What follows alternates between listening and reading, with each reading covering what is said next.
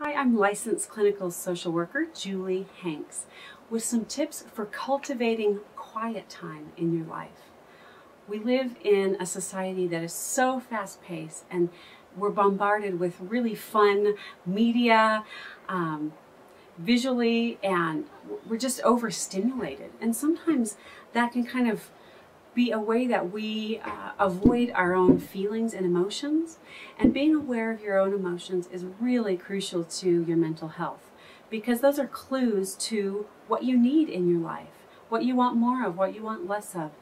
And so um, I think spending time alone is really important in order to tune into your emotions.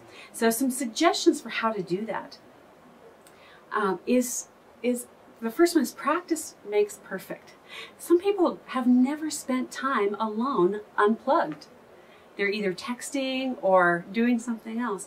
So practice just taking a walk by yourself, going for a hike, uh, doing yoga or meditation or prayer. Those are all ways of, of kind of tuning inward instead of being so focused outward.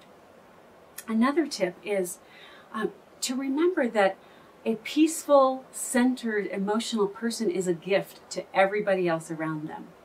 So sometimes, I think particularly for women, we think the best thing we can do for others is to do things for them. And while that's an important part of relationships, um, it's really important that we are settled and in tune with our own emotions so we can be in tune with other people and what their needs are. So remember that that a peaceful, tuned in person is a gift to all the, of the people around you.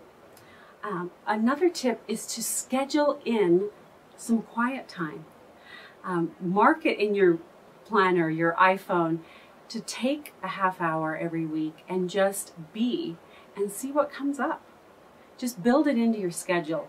You know, we're, we're not going to change the pace of our, our lives entirely, but we can actually carve out some time to reflect, meditate, journal, and just get to know ourselves and what's going on in our in our thoughts and in our emotional life. So those are some tips.